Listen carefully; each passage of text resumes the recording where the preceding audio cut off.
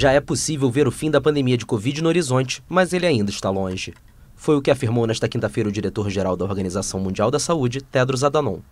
One of the most frequent questions I'm asked is, where do we stand? Uma das perguntas mais frequentes que fazem é: em que pé estamos? A pandemia acabou?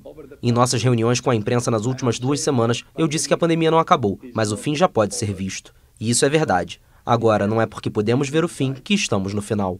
Sim, estamos em uma posição significativamente melhor do que nunca. Yes, we're in a better position, significantly better position than we have ever been. Segundo o chefe da Agência de Saúde da ONU, o número de mortes registradas a cada semana no mundo continua a cair e representa não mais do que 10% do que foi o pico em janeiro de 2021.